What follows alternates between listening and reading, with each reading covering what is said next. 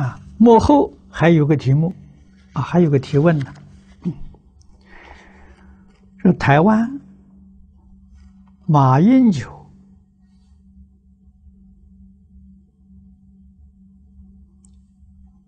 啊，总统啊，参加祭孔典礼，是不是封建？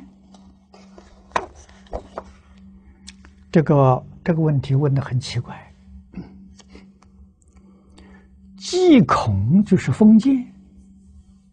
那你祭祖先是不是封建的？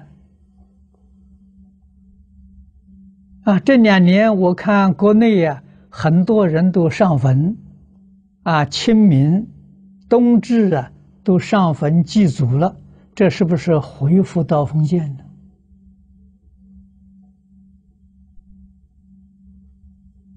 我们可以联想到啊。啊，如果这么说起来呀，我觉得封建还不错。为什么呢？封面它封建是孝顺父母，那不封建就不孝顺父母了。啊，孔子是老师，季孔是是提倡啊尊师重道。啊，确实，过去历代帝王啊提倡。啊，民国年间的时候还是有提倡。啊，那现在人的时候不要父母了，当然他也不要老师了。今天社会动乱的根源在此地。啊，马英九祭孔啊，值得赞叹。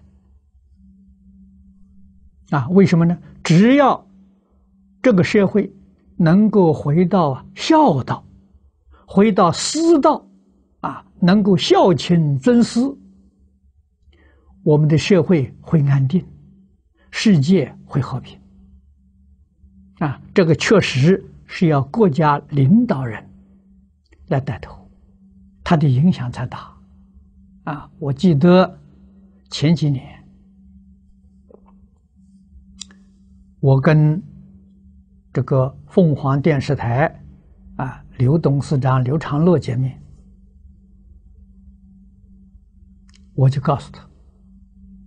我说：“这个是现在这个世界，有两种人可以拯救世界，也可以毁灭世界。”他说：“哪两种？”我说：“第一种国家领导人，第二种就是干你们这一行的人。”啊，这个卫星电视影响太大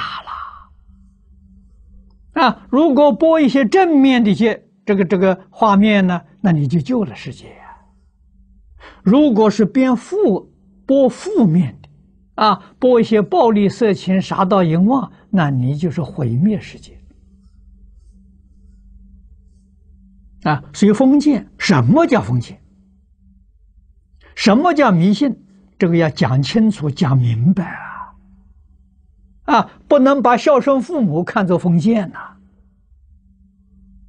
啊封建时候讲伦理、讲道德，啊，讲因果。那现在说这个，我们伦理不要了，道德不要了，真的是如此。所以现在说，你看，连奶粉都有毒，啊，连小孩的时候，他都要让他是让他是是受了重大的这个伤亡，这是什么？这就是没有伦理道德了吗？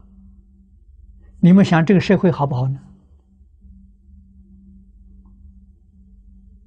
啊，如果要我们来，我要我来选择的话，我还是愿意选择封建的。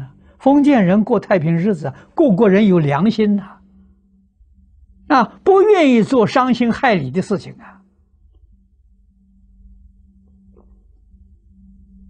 啊，所以这个事情我们要头脑清醒的来对待，不可以随随便便的来批评他，啊，你批评他不对的时候，那么换一句话说，不孝是对的。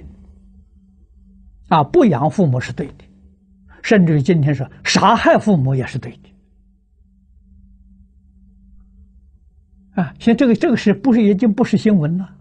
儿女杀害父母，这个兄弟互相残杀，在学校里面，我们看到国外很多信息，啊，这个学生杀老师，杀同学，太多太多了。啊，这是什么？这现代二十一世纪的文明，这个不封建。啊，如果是学生的时候孝孝孝顺老师啊，敬爱老师，那这个学生是封建。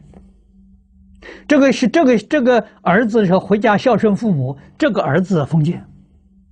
我们可不可以这样说法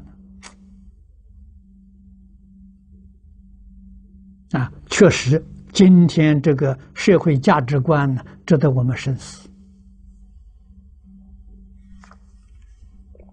好，这个问题我们就说到此地啊。